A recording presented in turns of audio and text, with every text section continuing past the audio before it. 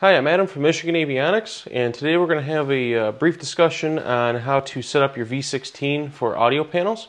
Uh, with the A16 uh, coming into popularity since we started bringing it to the US, uh, as well as uh, other audio panels in, um, in retrofit installations where somebody's replacing an old radio, uh, we've had a couple of pattern things that we've noticed that weren't quite clear in the manual. Uh, so we're going to go ahead and fill in those blanks for you guys right now and uh, hopefully help you out if you're doing an installation like this. So we're getting our uh, equipment set up here. So what we've got is a uh, V16 to A16 harness and then we've got our uh, Razor and Vega control head harness. Uh, we're just connecting those with quick connect CAN bus plugs. We're going to put the terminator on one end um, and then we just give it some power and ground and we're already ready to go with a, the basic setup here um, enough to at least get us going to look at the settings on this, uh, on this head unit. Number one issue that we're finding is um, customers are not turning off the Vox system in this V16. Uh, so for those who don't know what the Vox system is doing, it acts as a noise cancellation. So for one, it's squelch like you would be used to on some audio panels where you would adjust it to the point that uh, you can no longer hear your voice or you can just start to hear your voice if you speak at a normal volume um, but it gets rid of the engine noise or you know environmental noise around your aircraft. Our system combines that with uh, another system called Vogad, where it compares uh, the audio that's coming into the microphone channel um, and looks for patterns, and then it eliminates those patterns. So in a way, it's kind of like noise canceling uh, on your headset.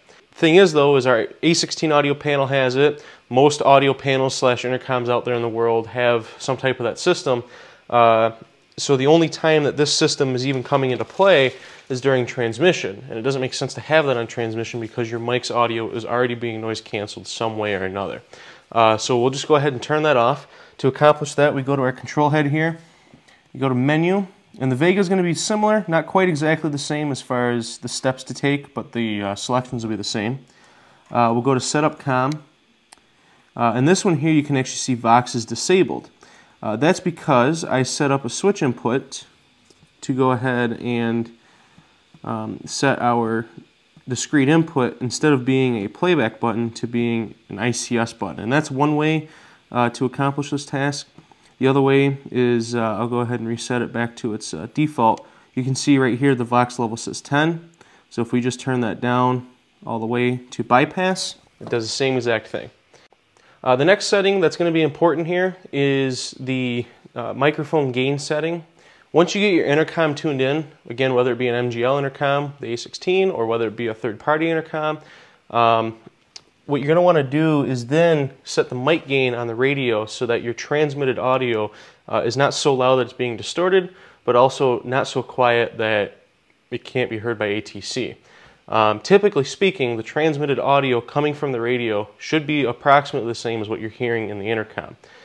Uh, in most cases, if you were using, for example, just the V16 as the intercom, you would actually have uh, a positive mic gain in most cases. But because intercoms and audio panels amplify your voice already, you would actually have a negative gain when you're interfaced to one of those with the V16. So on here on the Razor head, you can see we've got pilot mic gain set. Right now it's currently at the default setting of plus zero, so it's not being amplified or attenuated in any way. Uh, typically speaking, you would want to have a starting point of about negative two uh, decibels, or the closest that it gets to is negative two and a quarter. Uh, again, that's a good starting point. There's some more fine tuning that you will probably have to do there. Um, but for most people, this is what works. Uh, if you're in an open cockpit aircraft, you'll probably find this to be different. One final thing to look at is the auxiliary inputs of the V16. Because you're using an intercom or an audio panel, they have their own auxiliary inputs for things like uh, music or alert audio from like an EFIS or a stall warning device, what have you. Um, so make sure that your auxiliary input is off. Uh, sometimes, you know, at its uh, at the default level, it actually sits at negative 12. Um, by turning it off, we get rid of the chance of any interference coming in through that radio um, from an unused input channel. One final thing to consider on the uh, V16 is that the intercom volume, even though you're not using the intercom built in, has an effect on side tone. Uh, so probably the second most popular complaint that we get is that I can't hear myself when I'm transmitting. Simply turn the intercom volume up on the V16 about halfway and you'll have good side tone for all of your transmissions. Thanks for watching this quick tip.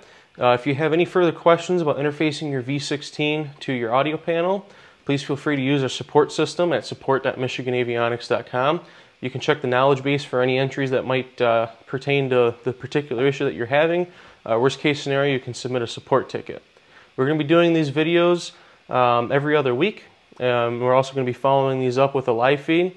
Uh, so if you'd like to ask questions live uh, for us to answer on camera, uh, that'd be a great opportunity to do so. We'd love to uh, communicate with our customers.